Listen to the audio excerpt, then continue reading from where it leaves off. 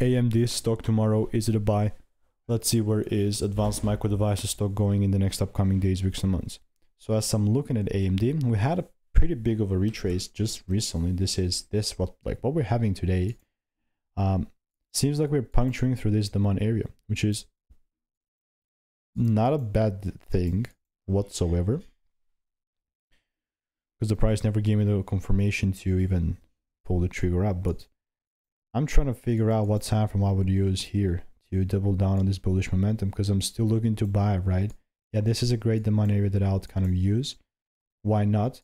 And you have to understand until I have a decent double break or a shift or that, you know, shift Wyckoff accumulation, then I'm not going to buy. And in the meantime, I'm just kind of chilling, focusing on other ticker symbols and waiting for the rules to be met. Because this is after 30,000 videos of data collection, what has worked for me. If you want to make more money by taking less trades, click the first link below.